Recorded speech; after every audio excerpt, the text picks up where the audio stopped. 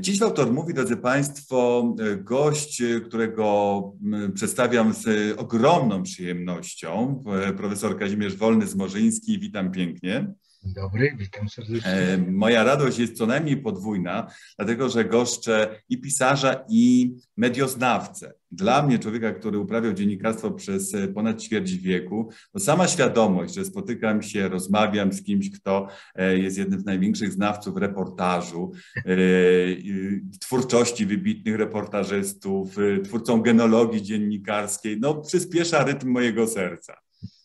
E, profesor Kazimierz e, Wolny-Zmorzyński związany jest z Uniwersytetem e, Warszawskim, Śląskim, Wrocławskim, Jagiellońskim, Papieskim i ma ogromny dorobek medioznawczy. Ale tak się umówiliśmy za zgodą pana profesora, że ten cały dorobek medioznawczy dzisiaj zostawiamy trochę z boku. Z nadzieją, że kiedyś uda nam się do jakiejś rozmowy na ten temat powrócić z wielką radością. Natomiast dzisiaj chcemy się skupić, drodzy Państwo, na czymś, co pan profesor robi, można powiedzieć, po godzinach. Jeśli to jest w ogóle dobre określenie w przypadku naukowca, e, zwłaszcza humanisty, że coś jest e, coś w trakcie godzin albo po godzinach, panie profesorze. E, to przyznam szczerze, że nie zastanawiałem się nad tym, żeby dzielić te prace właśnie redagowanie, pisanie tych mm, artykułów czy książek naukowych na te w czasie godzin i te, które piszę, no, powieści dla przyjemności, dla zabawy, to faktycznie dla zabawy, żeby to było po godzinach. Y, ostatni czas, właśnie y, książki, którą napisałem w zeszłym roku, Czas kwarantanny, y, jest dowodem na to, że pisałem od rana do wieczora, a czasami i w nocy, bo tak to się działo wszystko we mnie i musiałem to wyrzucić. Motywacja była podwójna, bo raz, że y, wszyscy byliśmy przywiązani do miejsca, w którym musieliśmy być, bo był lockdown, y, a dwa, y, ten czas szybciej mijał, a trzy, no tak się nagromadziło tych różnych historii, które chciałem przedstawić, że wolałem opisać je nie rozkładając na etapy. Rozumiem. I to było duże ułatwienie, więc przyznam szczerze, że jak zaczynam pracować nad czymś, to no, staram się dać z siebie jak najwięcej, bo nie powiem, że wszystko. Wtedy jest łatwiej, bo człowiek nie odchodzi od tych swoich bohaterów, których tworzy. I to jest E, tylko że z drugiej strony jestem z bohaterami, a dla domowników nie jest to e, naj, naj, najszczęśliwsze, e, ponieważ no, praktycznie mnie nie ma dla nich. I, Ale wie pan co, porządkujemy jeszcze sprawę takiej jakby sytuację inicjacyjną dla naszych tutaj czytelników, bo nie powiedzieliśmy jeszcze, ja nie powiedziałem, że E, profesor Kazimierz Wolny-Zmorzyński jest autorem, jeśli dobrze naliczyłem, siedmiu powieści teraz już w sumie, tak? Siedmiu, tak jest. Siedmiu. I jakby też, no przepraszam i powiedziałem panu profesor, zostawiamy na razie ten dorobek wcześniejszy i będziemy do niego w kolejnych rozmowach wracać, ale dzisiaj chcemy się skupić właśnie na tej najnowszej powieści, która nosi tytuł Czas kwarantanny. Nie, I skupiam się na niej nie tylko dlatego, że jest najnowsza, ale dlatego właśnie, że dotyka e, czasu pandemii. Tak naprawdę rozgrywa się właśnie e, teraz, e, no, w zeszłym roku, w momencie wybuchu tej pandemii. I pandemia jest, no powiedzmy, no, scenografią dla pewnych wydarzeń, żeby też Państwa uspokoić, że nie jest to książka o pandemii, tylko rozgrywa się w czasie pandemii. I właśnie moje pierwsze pytanie, chociaż trochę naiwne, y, jest to tak naprawdę było taką podnietą dla Pana do e, napisania tej e, książki. Już częściowo Pan odpowiedział na to pytanie, mówiąc, że no został Pan, że tak powiem, unieruchomiony w domu, jest lockdown, więc trzeba ten czas wypełnić. Człowiek tak aktywny jak Pan nie chciał, że tak powiem, e, skupiać się na czymś innym, tylko właśnie na pisaniu. No, y, wydawałoby się, że prosta rzecz, bo tak czy tak miałem y, na tapecie y, dwie inne rzeczy, między innymi właśnie o reportażu, ale ile można o tym reportażu, jak jeszcze gdzieś w tyle głowy, od dawna miałem pomysł na to, żeby opisać historię znanych mi osób, znanej rodziny, opowiadali o tych swoich przeżyciach. Rzecz się ich dotyczyła, rzecz działa się właśnie w latach 50. ubiegłego wieku. I chodziło za mną to, żeby jakoś to przedstawić, tylko nie miałem żadnego pomysłu na to, w jaki sposób to zrobić. I nagle zostaliśmy zamknięci w czterech ścianach. I pomyślałem sobie, że y, w pewnym sensie taką sztuką, wyzwaniem dla mnie y, powinno być y, nie pisanie w taki sposób, jak robiłem to do tej pory, czy to w pierwszej osobie, czy, jak, czy stosując narratora wszechwiedzącego w trzeciej osobie, ująć to w formie dziennika, listów i y, tak zacząłem eksperymentować. Choć nie ukrywam, jestem tradycjonalistą i wszelkich eksperymentów się boję, ale y, pomyślałem sobie, że no wszystko dobrze się składa, że teraz w czasie pandemii y, bohater może przedstawić historię z wcześniejszych lat, o której się nagle dowiaduje, która go zaskakuje, bo jest czymś nowym, a nawet e, w pewnym sensie wstrząsem, e, e, właśnie w formie listu. Bo wyzwanie dla mnie polegało na tym, że by nie przedstawiać, tak jak powiedziałem wcześniej, wszystkiego, na zasadzie takiej opowieści, mhm. która się ładnie y, układa, fakty się splatają na zasadzie przyczyny i skutku, ale coś jeszcze wynika z listów. Nie ukrywam, kiedyś jak było, to ja jeszcze należę do pokolenia, które pisało listy. Ja bardzo lubiłem pisać listy. Aha. Y, I dużo pisałem listów i pomyślałem sobie, że sprawdzę się, nie powiem, pisaniu listów miłosnych, bo to były listy miłosne, te, które są tu zastosowane w, tak, e, tak. w czasie kwarantanny. Myślę, że za, za, za, wiele nie zdradzimy, mówiąc właśnie, że sytuacja jest taka, że bohater pańskiej książki, e, pracownik, Polak, ale pracownik firmy niemieckiej, firmy Mercedes, tak, wraca, zmuszony jest wrócić ze Stuttgartu i zostaje objęty kwarantanną. Jest zamknięty w domu i właśnie w tym domu, e, porządkując, że tak powiem, wypełniając sobie czas porządkami, odkrywa domowe archiwum i zagląda tam, gdzie do tej pory od dawna nie zaglądał i odkrywa e, rodzinną tajemnicę. I to właśnie ta tajemnica go najbardziej poruszyła. I jak ją przedstawić?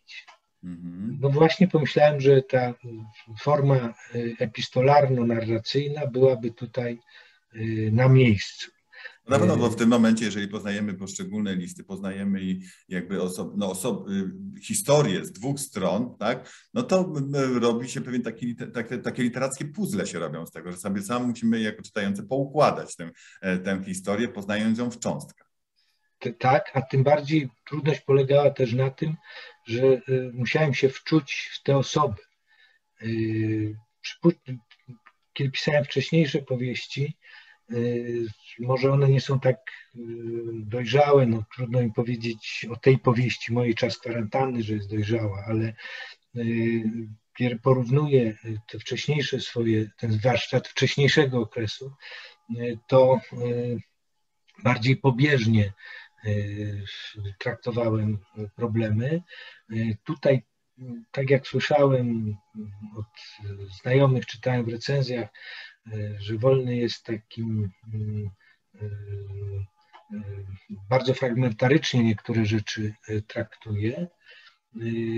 No ale tak, rozumiem to. Fragmentarycznie potraktowałem te zagadnienia, które dotyczą dzisiaj, czasu współczesnego, właśnie może ta płaszczyzna ta narracja okresu kwarantanny, ale głębiej za sprawą listów wszedłem w, no, w psychikę też bohaterów, a tutaj się bałem, trochę musiałem być kobietą, jak pisałem listy, które, których autorka była właśnie kobietą i mężczyzną, co mi już łatwiej było, kiedy opisywałem to, co czuje bohater, prawda? Ale na szczęście mężczyzna jest też humanistą, więc nie ma problemu z wyrażaniem uczuć. To, to, to właśnie nie było znowu takie trudne, ale bałem się jakichś powtórzeń. I to właśnie było to, ten czas właśnie kwarantanny. Rozmawiając z panią doktor Pauliną Wiśniewską, właścicielką i szefową wydawnictwa Silvarerum, na temat wcześniejszej mojej powieści pod tytułem, którą też wydałem w zeszłym roku, na początku zeszłego roku, pod tytułem Sekret Sabiny. No właśnie, o, ja nie dokonałem w ogóle prezentacji. Przepraszam najmocniej. Tu jest Sekret Sabiny. Nie, nie, nie mówię o tym, żeby się upominać. A tu jest czas kwarantanny, o którym rozmawiamy. Tak, proszę Państwa. Tylko dlatego, Zapamiętali, bo ta książka jest dostępna także w bibliotece w Kaliszu. Zapraszamy do lektury. Y, tylko nie mówię tego dlatego, żeby akurat się upominać o te książki, tylko to jest kontekst tego i właśnie cała geneza powstania. Mhm.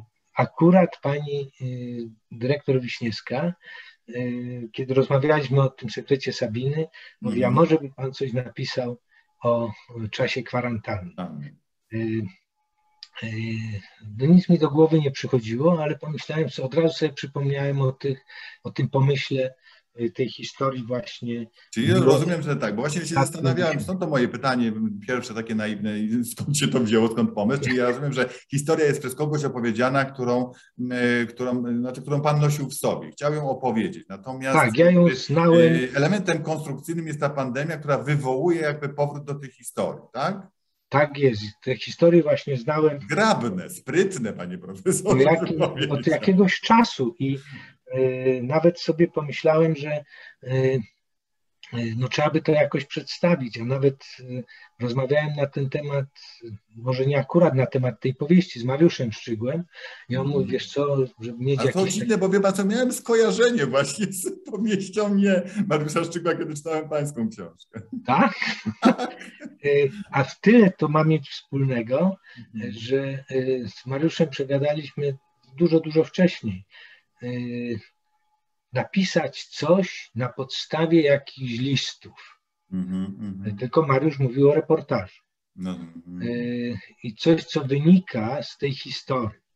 E, no a jak usłyszałem właśnie te historie moich znajomych, e, to sobie pomyślałem, że akurat no, takie listy to ja stworzę, no bo to jest w końcu powieść. -hmm. Nawet niektórzy znajomi którzy znają mnie bliżej, y, a zajmują się literaturą, mówią, słuchaj, to jest powieść reportażowa.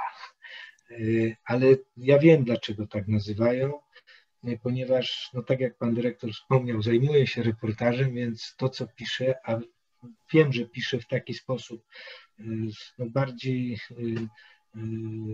no, nie boję się tego określenia, prosty, szybko ma trafić tekst do odbiorcy, mhm. y, więc y, klarowny, mam wrażenie, więc bliski jest tej technice reportażowej.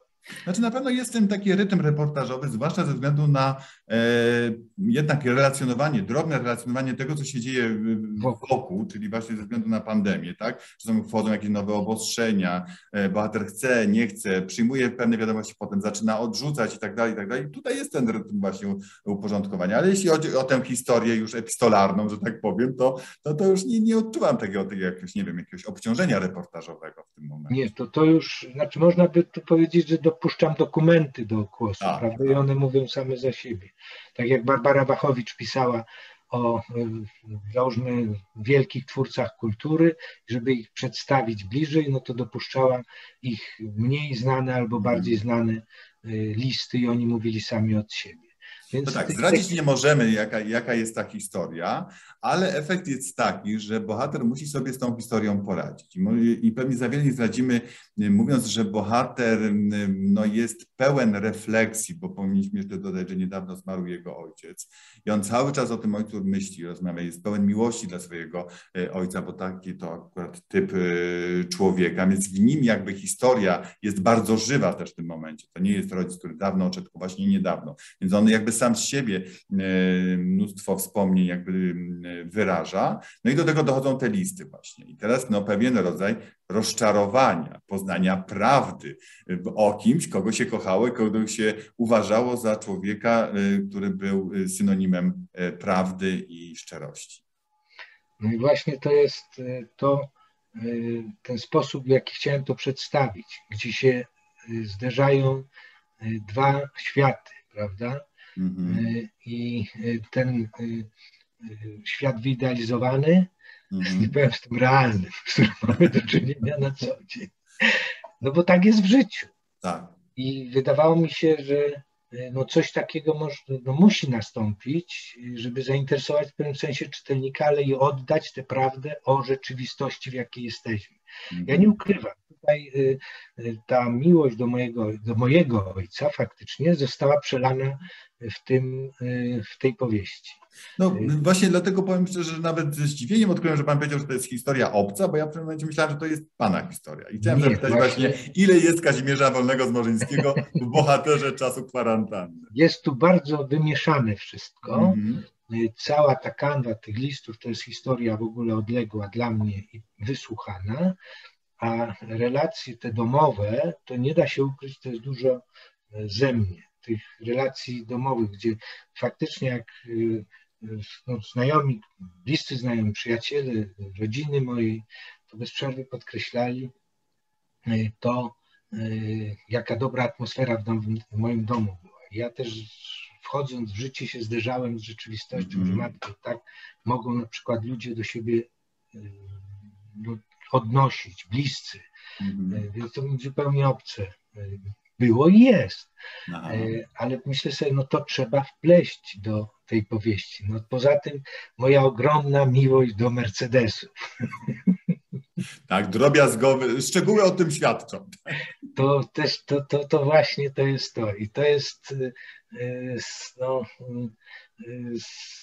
może ktoś się dziwić, no ale ja pamiętam jak jeszcze dawniej, jak się samemu myło auta, prawda? No, no, no. Y, miałem kilka, kilkanaście samochodów wcześniej różnych marek.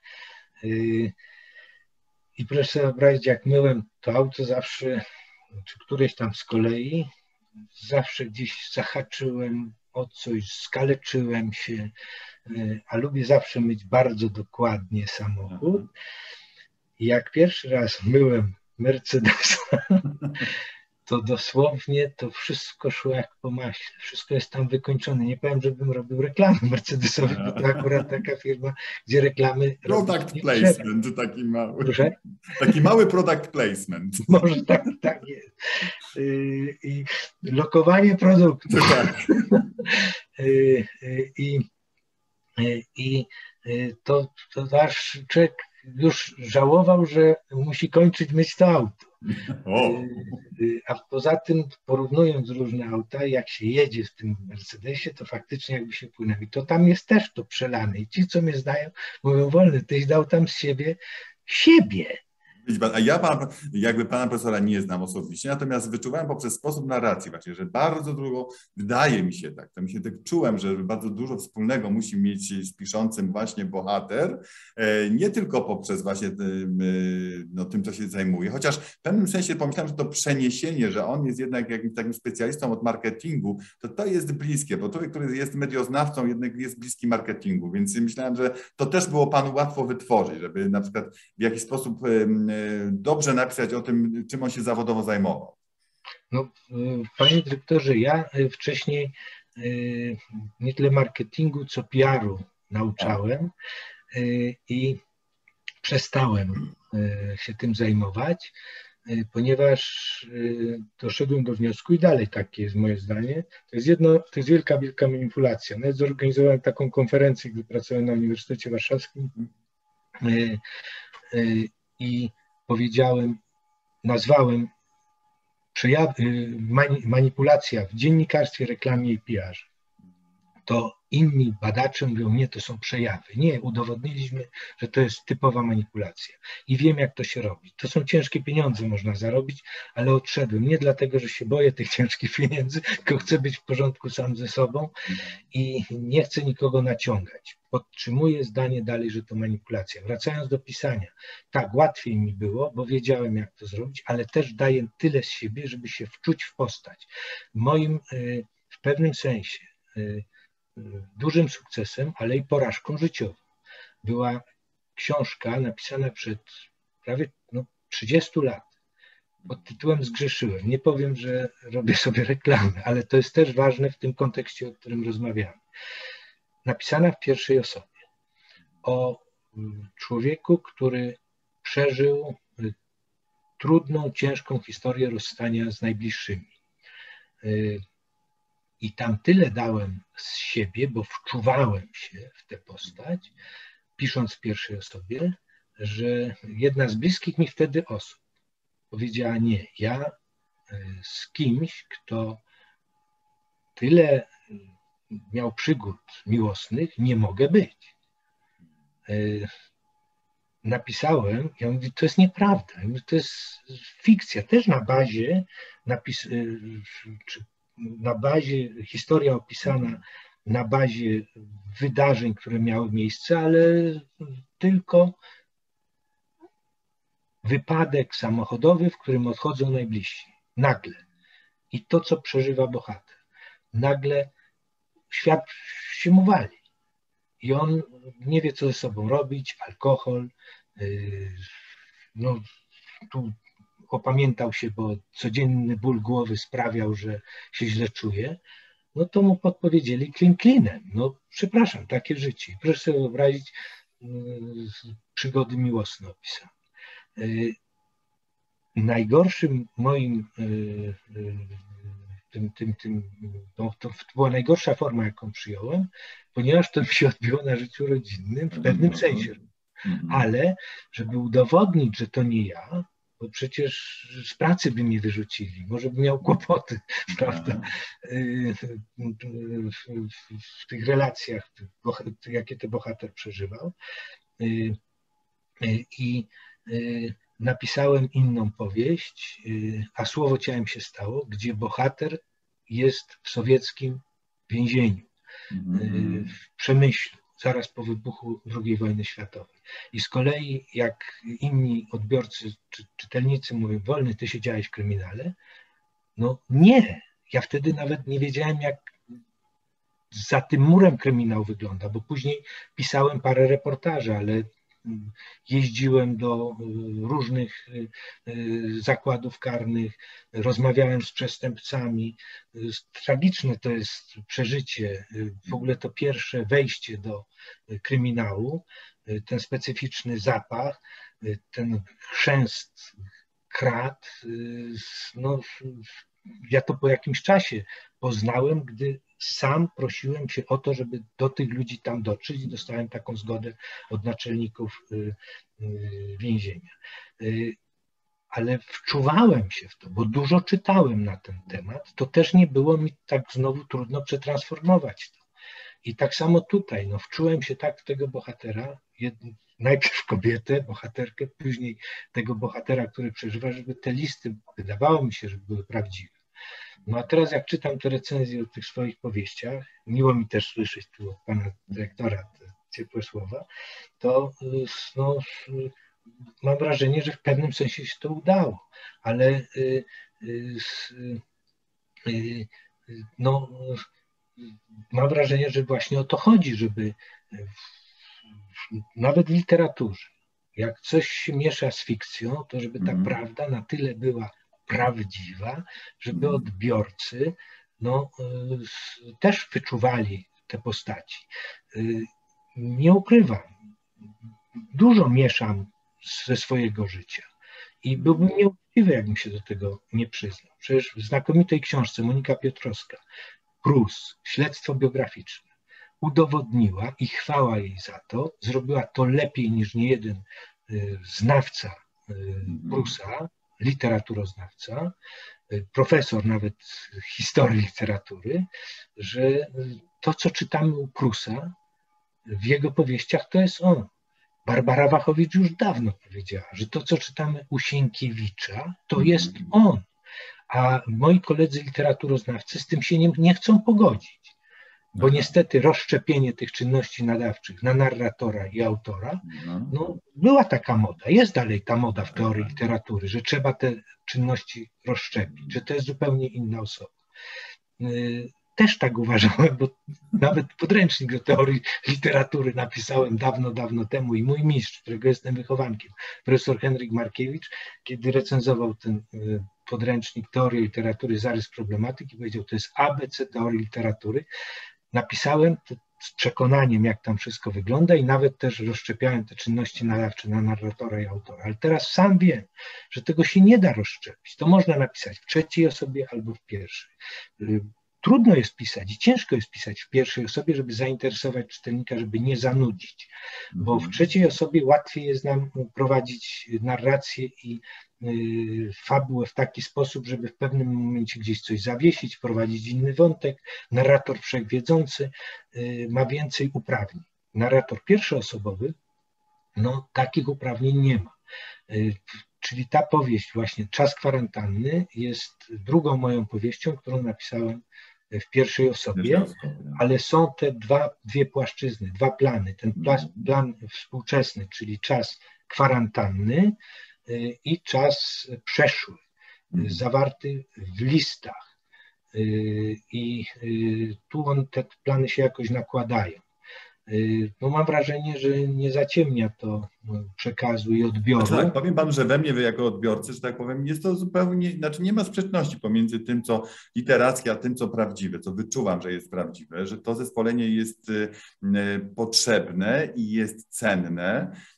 Na pewno jest tak, to z kolei wiem od, od Hanny Kral i ona też mówiła, że jej doświadczenia jakby pisarskie były takie, że na początku wydawało się, że życie pisze najlepsze scenariusze, wystarczy to przelać na papier, Potem doszło do wniosku, że jednak trzeba to transformować, mając świadomość właśnie odbiorcy. To nie jest tak, że poznałem historię, wrzucam ją na papier i ona będzie interesująca. Nie, czasami trzeba jednak pozmieniać, jednak znaleźć jakąś dobrą konstrukcję, czasami wszystko powiedzieć, żeby to się dobrze czytało też na przykład. Tak? Bo trzeba pomyśleć właśnie o czytelniku. Tak. Ja no, zajmuję się teorią reportażu i czasami niektóre historie bronią się same. Konkoleski mówił wprost, y, temat załatwia wszystko. Mhm. Y, I miał rację, bo y, nawet jak dzisiaj zadaję teksty Konkoleskiego do czytania studentom, a te teksty mają już nawet 60 lat, niektóre mniej, to studenci mówią, no czyta się z przyjemnością, bo on faktycznie opowiadał historie, które były, przepraszam, samograjami, ale jeszcze dobrze je opisał. Z kolei y, Wańkowicz, mistrz Konkoleskiego, y, wprost mówił, że trzeba właśnie te fakty uzupełniać w pewnym sensie fikcją, która nie będzie szkodzić tak. reportażowi. Ja nie powiem, w powieści też zastosowałem tę samą e, technikę. E, e, znakomity reporter, ale przy okazji mój kolega z pracy z Warszawy, Marek Miller, teraz stosuje właśnie tę technikę, którą stosowała i stosuje też od czasu do czasu Swietłana Aleksiejewicz bohaterowie mówią sami za siebie, czyli ten, ten, ten, ten, ten, ta, ta polifonia, prawda, ta technika mhm. polifonii, wiele głosów.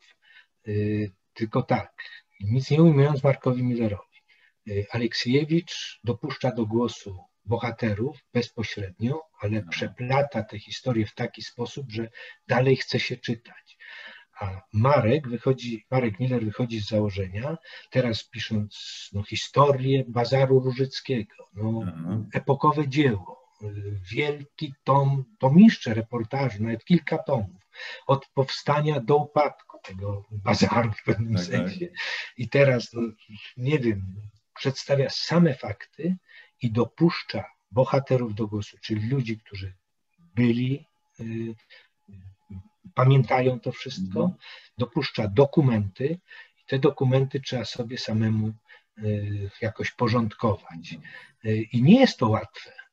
I ja zdaję sobie sprawę, że to jest bardzo ciężka praca, ale jak rozmawiałem z Markiem niejednokrotnie, to mówię, że to trzeba jakoś, podpowiadam, właśnie ubrać, tak jak pan dyrektor mówi, no, przywołując Hannę Kral, no, to ma, się, to ma być do czytania. Do czytania, tak, jest... bo, bo, bo, to, bo jest dla niego trudne, ale może być też trudne w sensie odbiorczym właśnie dla czytelników. Nie? To tak samo jak na przykład y, wspomniana przeze mnie wcześniej Barbara Wachowicz.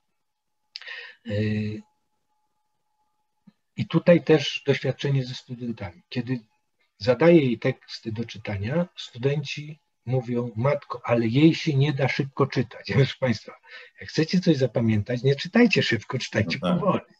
Wczujcie się w to. No ale dzisiaj wiadomo, czas taki, że każdy szybko i żeby było krótko. Yy, I albo fragmentarycznie. I yy, yy, przypominam sobie moje spotkania z Barbarą Wachowicz, kiedy byłem słuchaczem jej wystąpień. Ona pięknie mówiła no, sala zapatrzona w nią, zasłuchana. Tak, wiele spotkań odbywało się, odbywało się w Kaliszu, także pamiętam. Także to, to jeszcze ona wprowadzała tą specyficzną atmosferę, modulowała głosem, zachęcała. Ale ważna była scenografia, kolory. To było wszystko, wszystko ważne. Wszystko było zaplanowane w, szczeg- w szczegółach. I wszystko było ważne, ale mówiła to, co było w jej książkach. Niemalże tak, jakby znała te książki na pamięć. No. I to się słuchało kiedy człowiek zaczyna czytać jej książki, to e, gubi się w tym. A to polega na tym, że właśnie gubi go pośpiech, nie nadmiar faktu, mhm. tylko gubi go to, kiedy Barbara Wachowicz sama mówi od siebie i, do, i opisuje niektóre dokumenty, które dopuszcza właśnie do głosu, fragmenty tych dokumentów. I trudność czytania Barbary Wachowicz polega na tym, że y, gubimy rytm. Ona mówi swoim rytmem, a dokumenty z kolei swoim. A człowiek już jak odbiorca wejdzie w ten jeden rytm, to fajnie, gładko mu się czyta. Tu Barbara Wachowicz to mistrzyni przekazu, ale y, no, trudna w odbiorze. Ja pomyślałem sobie, że no, nie mogę być taki trudny w odbiorze, więc wolę to tak z górki, żeby szło, żeby to ten odbiorca się nie męczył. No bo tak w ten sposób właśnie przez tą całą bogatą historię, bo jednak nie uniknęliśmy, nie uniknęliśmy rozmowy o reportażu, e, wróciliśmy do czasu kwarantanny, bo ja bym bardzo chciał jeszcze o jedną rzecz zapytać, no, bo nie chcę też zasygnalizować, że pandemia była tylko, nie wiem, podnietą do e, e, snucia historii tej przeszłej, bo jednak ta pandemia tam w środku jest. Jest jakoś tam jednak opisana, jest zarejestrowany jej początek, tak? I tego, w jaki sposób się też zachowywaliśmy, jak przynajmniej kilkoro osób, które są bohaterami tej książki, zareagowało na, na pandemię. Chciałem zapytać trochę przewodnie, czy Pan się nie obawiał właśnie tego osadzenia w, w, tym współczesnym czasie, który nam jest bliski i jakoś postrzegany rozmaicie, że to kogoś może odrzucić, że ktoś może nie chce czytać powieści, która rozgrywa się w czasie pandemii, no bo ona nas przygniatała, chcieliśmy właściwie o niej zapomnieć, a, a tu Pan świadomie ją przypomina i opisuje. Właśnie nie tak jak pan dyrektor mówi, świadomie ją przywołałem i opisałem. Nawet y, zwróciłem uwagę na szczegóły i fakty, które były. Tam zdaję sobie sprawę, że może przywołując y, tak, znowu ta dokumentalistyka, y, czy z prasy, czy z internetu, czy z telewizji fakty, które poznaje bohater, to może jest ich nadmiar, ale wydało mi się to na tyle konieczne, na ile będzie to za jakiś czas w pewnym sensie dla nas, dokumentem. Proszę zwrócić uwagę. Ta powieść... Zastanawiałem się, czy pan się nie obawiał właśnie, że to było takie bardzo świeże, tak? Myślę, że w tej filmie na przykład był pan w stanie się podzielić innymi refleksjami dotyczącymi pandemii, tak? To był ten moment, kiedy wszyscy byliśmy tym tak naprawdę zszokowani, tak? Czy pan tak, się nie obawiał ale... właśnie, że kurczę, no to jest takie, taka świeża rana, czy my nie, nie warto byłoby właśnie mieć trochę dystansu do tego? Tu mówię o pewnej, o pewnej pańskiej odwadze, że tak powiem. Właśnie nie, bo tu znowu przemówił przeze mnie taka siła y, mm. reporterska. Rejestrujemy to, co jest, jest. na bieżąco, mm. y, a służyć to ma y, jakiemuś udokumentowaniu w pewnym sensie, może literackiemu, y, ale tak, książka napisana jest w formie dziennika. Niektóre osoby mieszają terminy. Ja jako osoba zajmująca się genealogią, to jestem tu mm. przewrażliwiony. Dziennik a pamiętnik to są dwie różne rzeczy, mm. prawda? I ten dziennik pisany na bieżąco, ja piszę dziennik. Może nie tak systematycznie, ale piszę Aha. dziennik. E, moja żona nazywa go cygannikiem. Aha. E, no bo może też tam przesadzam w niektórych rzeczach, e, no ale to jest moje spojrzenie, prawda? Ocena właśnie na bieżąco niektórych rzeczy. Mhm. To, co się dzieje tu i teraz. I to za jakiś czas przeradza się nie w, nie w pamiętnik, bo to jest zupełnie co innego, ale to jest pamięć dla nas. Co było, jak to wyglądało. I jak ja bym się od razu zdystansował do tej rzeczywistości, którą żeśmy przeżywali, mhm. to zdaję sobie sprawę, że umknęłyby te fakty, które są ważne, a chcielibyśmy może o nich zapomnieć, ale zapom zapomina się po jakimś czasie, co się przeżywało w danej chwili, bo szczegóły umykają, a one są bardzo ważne. I stąd tam to moje odważne skupienie się właśnie na tych szczegółach. I proszę mi wierzyć, y, kiedy pan dyrektor zadzwonił do mnie przedwczoraj, y, ja sobie wczoraj tak przyjrzałem y, tę powieść nie powiem, że mieć na świeżo w pewnym sensie, y, ale sam zapomniałem, jak ten marzec i kwiecień ubiegłego roku w szczegółach wyglądał. Myślę sobie, matko, tak to było. I y, ja wiem, że najlepiej pewne rzeczy się pisze z dystansu, ale zapomina się właśnie o tych szczegółach, które są tym, tym takim jakimś klejem, wprowadzają w klimat. I świadomie na to zwróciłem uwagę. I y, y, może niektórych drażnić to, może nawet jak ta książka ukazała się y, zaraz na początku tego roku. To, mnie, to wszystko było tak świeże. To jest jeszcze świeże, bo to tak. końca nie widzimy, my tkwimy w tym. To może niektórych drażnić, ale sam wiem i nie tylko ja, zapomniałem o tych szczegółach, które i faktach, które w pewnym sensie nas bolały, dziwiły, y, a jednak są y, istotne. Jest to też ilustracja pewnego stanu zagubienia takiego naszego, no bo tak naprawdę nie wiedzieliśmy, jak sobie z tym poradzić też, tak? tak Teraz troszeczkę już więcej mamy w sobie strategii zachowań. Właśnie, ja też się zastanawiałem, na ile mogę sobie pozwolić i wprowadzić y, opisy zachowań niektórych postaci, czy w ogóle ludzi, których tam przywołuję, zresztą tam też był komentarz mój y, na temat zachowania y, nas wszystkich, jak jesteśmy, stoimy w kolejce tak. do sklepu spożywczego. Zapomnieliśmy już, jak to za komuny było, prawda? Dzisiaj ludzie... Pandemia zdecydowanie była też, jest cały czas papierkiem lakmusowym też zachowań. Tak. tak, oczywiście. Poza tym też te szczegóły dotyczące Y, tego, to dzisiaj się mówi o tym, a wtedy to była jakaś mhm. oczywista oczywistość, jak mówi klasyk, że y, te środki y, antywirusowe no, tak poszły w górę, że praktycznie pieniądz nic nie znaczy. Poza tym no tam jeszcze moje takie dygresje na temat utworów literackich niektórych, postaw no, małżonków, prawda? Mhm. I nie powiem tam w pewnym sensie w formie takiego mm, eseju mm, pisałem o wielkich utworach literackich, no ale tak, też czułem, starałem... że, że jest on w tym, tak, czułem. To właśnie były te momenty, kiedy czułem, że... Proszę? A, czułem w tych momentach właśnie, że to, że to musi być od Pana.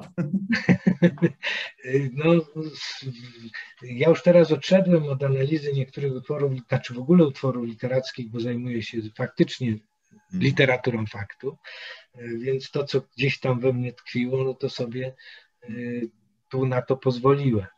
I tutaj tak, to jestem ja. I no nie krępuję się tego. W końcu y, y, ja się uczę, dalej się uczę pisania na wzorach, wielkich autorytetach i nie tylko podpatruję jak wielcy realiści, bo dla mnie to jest sztuka właśnie tak oddać tę rzeczywistość, żeby choćby nawet, to jest duża pochwała dla mnie, jak mnie zapytali, wolny, ty to przeżyłeś, ty byłeś w więzieniu, no tak. matko. To się tak, no to rozumiem, że to jest... Że zabrzmiało prawdziwie, tak? To zabrzmiało prawdziwie i o to mi chodziło. I, i no, nie tylko patrzę w jakiej formie to przedstawiają, ale co mówią, gdy pisali. Więc tutaj wszelkiego rodzaju biografie o tych wielkich pisarzach no, przemawiają do mnie i to, co mówili o twórczości, żeby pisać tak, jak się czuje i dawać dużo z siebie, a przede wszystkim starać się przeżyć wiele y, historii. Y, no ten czas pandemii tu przeżywaliśmy wszyscy, to odosobnienie. Ja akurat na szczęście nie przeżyłem kwarantanny, tak jak bohater w odosobnieniu, ale nie ukrywam, tam w zakończeniu dziękuję mojemu e, siostrzeńcowi, e, który akurat wracał z Londynu, a pracuje e, w Rolls Royce. I tutaj w pewnym sensie też jest jakaś, jakieś tak. zaczepienie, bo bohaterem miał być właśnie on, który wraca, bo tak chciałem sobie to osadzić, wszystkie te realia, mhm. no ale wraca z Londynu y, i co przeżywa na lotnisku. To od niego to wiem. Y, I pomyślałem sobie, nie, tu nie będę pisał o marce, no, na którą mnie nie stać, to raz, a dwa, no. Y, która jest no, mi obca i no, posklejam. Z tego co wiem, to chyba i obszar niemieckojęzyczny jest panu bliższy. Że tak. Znaczy tak, bo łączyłem z germanistyką czas jakiś temu studia, więc to mi też było bliskie. Mm. Więc tu jest też dużo e, ze mnie. No. A te realia są w ogóle przełożone, jeśli chodzi o ten, mm, ten, ten, ten drugi poziom narracji, czyli ta y, część epistolarna, no to jest zupełnie dla mnie obca historia. W pewnym sensie... Pierwszy tak wniosek jest taki, uważajcie, kiedy rozmawiacie z profesorem Kaźmierzem Wolnym z Morzyńskim, bo znajdziecie się na kartach jego powieści. Y, może tak być. Niektóre osoby, y, z którymi się y, no, przyjaźnimy, a czytają je, mówią, że w niektórych sytuacjach się odnajdują. -hmm. Nie jest mi, no, nie piszę czegoś, co komuś by mogło zaszkodzić. Ale na przykład y, moje obserwacje też y, na temat zachowania niektórych sąsiadów y, no są tam opisane w tym czasie kwarantanny i jak co po niektórych się zachowują. Tak. I nie są to sąsiedzi, sąsiedzi z którymi teraz mm. sąsiaduję, tylko to są osoby, które czas jakiś temu. Poprzednich lokacji. Poprzednich lokacji, a to się składa właśnie na tą rzeczywistość. No nie powiem, żebym może i wymyślił niektóre historie, ale tak. no tak jak reporterzy mówią, no, życie niesie najlepsze y, jakieś sytuacje. Jak gdzieś je zapamiętać w odpowiednim miejscu wykorzystać, no to czemu nie? No. Panie profesorze, postawmy tutaj kropkę, ale już Państwo czują, jak wiele refleksji można snuć i nie tylko radość z czytania, ale jak wiele refleksji budzi książka Czas e, kwarantanny. Pokazuję Państwu okładkę jeszcze raz, żeby można było zapamiętać tę książkę.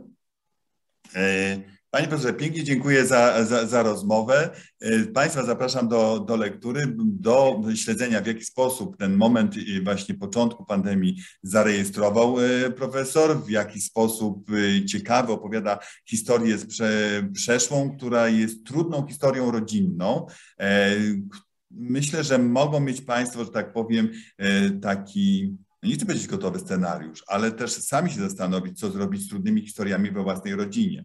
Właśnie, gdzie zostawić prawdę, czy to białe kłamstwo, czy nie, czy ujawnić, czy szczerość jest dobra do samego końca, czy nie jest. No. Tam wiele tych właśnie pytań pojawia się podczas lektury tej książki i tego Państwu serdecznie życzę.